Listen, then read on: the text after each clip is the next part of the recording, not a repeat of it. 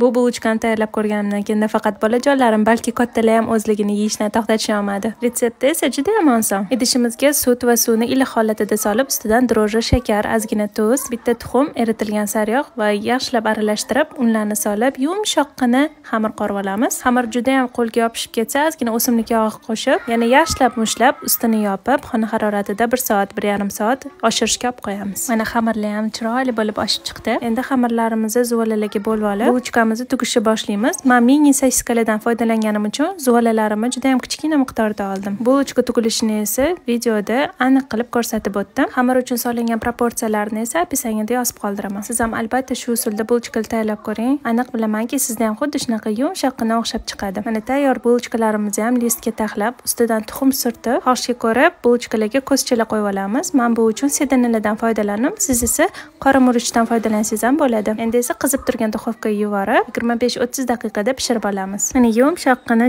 ham mazali bulochkamiz ham tayyor siz ham albatta shu usulda tayyorlab ko'ring